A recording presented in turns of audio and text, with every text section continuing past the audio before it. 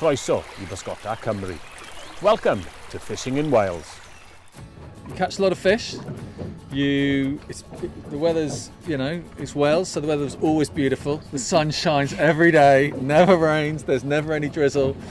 Um, there's lots of um, there's lots of dolphins in the harbour, so most of the time that we come, we've seen Dolphin. dolphins, and you know sometimes one, sometimes lots of them.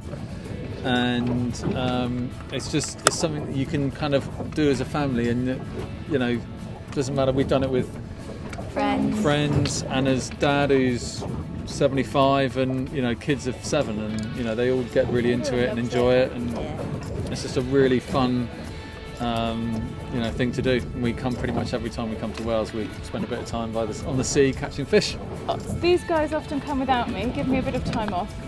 But um, we've all been together as a family, I don't know, seven or eight times at least.